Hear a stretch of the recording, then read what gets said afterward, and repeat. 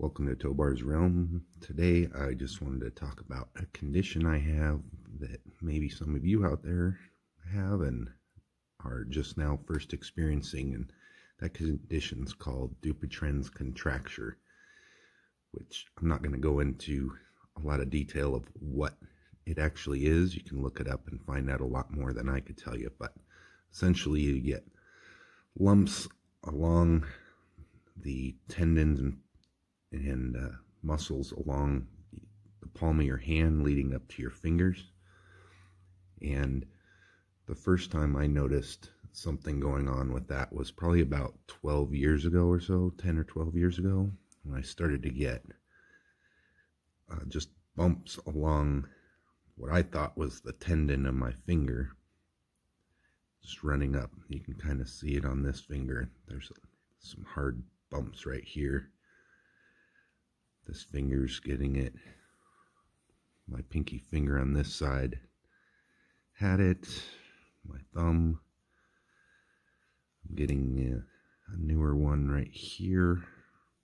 It's just you can kind of see that bump right there. But at the time, I didn't really know what what it was. I thought it was just a reaction to a life of manual labor and working with my hands a lot and hammers and stuff like that. Thought it was just doing damage to my tendons over time. And the my right pinky was slowly getting closer and closer, being pulled in more into my palm where I couldn't straighten it. Um, I'll insert a picture of what that looks like here, but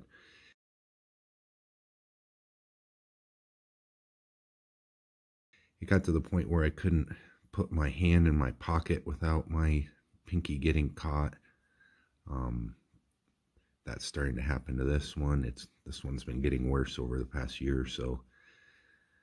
Um, what finally led me to do something about it was I was I remember meeting somebody and shaking their hand and this pinky got pulled in when I grasped their hand and it was like okay I need to do something about this so I made an appointment with uh, uh, orthopedic doctor and um, formally diagnosed it with with Dupuytren's and um, ended up scheduling a surgery. You can see the scar I have along right here.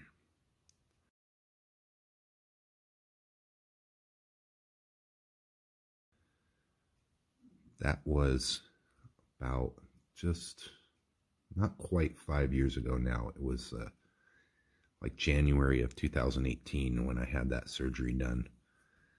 And it's made a pretty big difference. Like I can, it's not quite all the way straight, but it's better than it was for sure.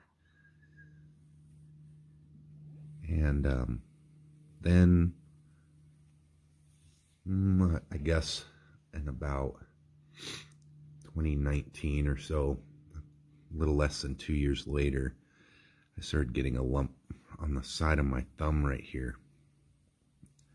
And I was also getting one in the uh, arch of my foot, my uh, left foot, right along, like the tendon that would connect your big toe to your heel, that one running, you know, along the arch of your foot.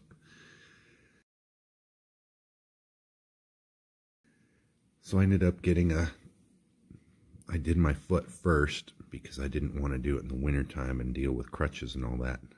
And then I ended up getting this hand uh, operated on too. This scar is not as visible. You can kind of see it right there. They cut it in a zigzag shape so that the scar can has room to stretch after it heals. You can really see it on this one.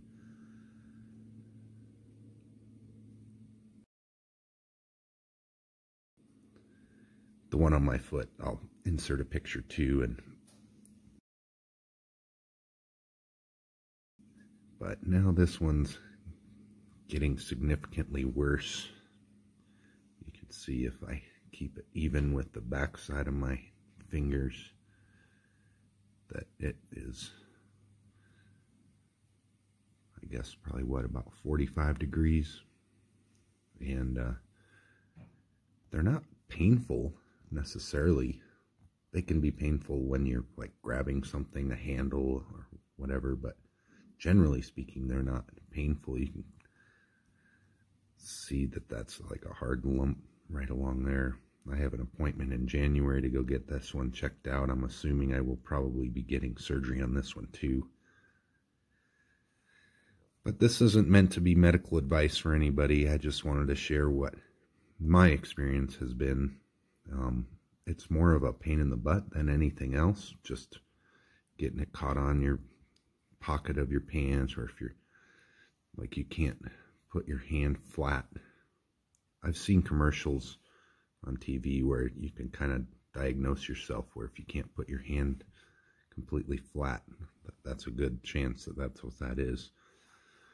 This one you can see the pinky's not great, but definitely better than it was. So if anyone has that issue, I would suggest contacting your doctor and see what you can do. I know there are some uh, non-surgical ways of dealing with it. In my case, none of those were applicable, but maybe it is for you.